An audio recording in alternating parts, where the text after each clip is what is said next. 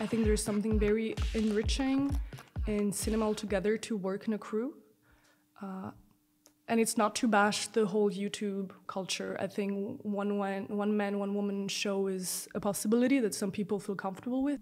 But I really like to work with people. I really like like having somebody even disagreeing with me and discussing things and finding new ideas. I think this is very enriching.